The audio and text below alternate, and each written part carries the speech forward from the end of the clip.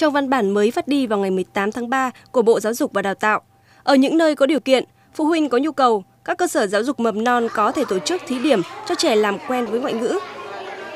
Cũng theo Bộ Giáo dục và Đào tạo, việc tổ chức thí điểm cho trẻ mầm non làm quen với ngoại ngữ được thực hiện một cách nhẹ nhàng, thoải mái thông qua các trò chơi, bài hát hoặc tranh ảnh tạo niềm vui hứng thú cho trẻ.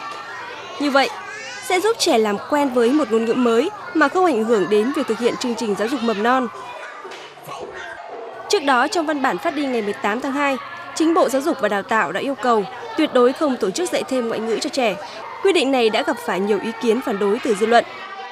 Thực tế, nhiều bậc phụ huynh có nhu cầu cho trẻ học ngoại ngữ ngay từ độ tuổi mầm non và nhiều trường cũng đã tốn không ít tiền bạc để đầu tư cơ sở vật chất và giáo viên.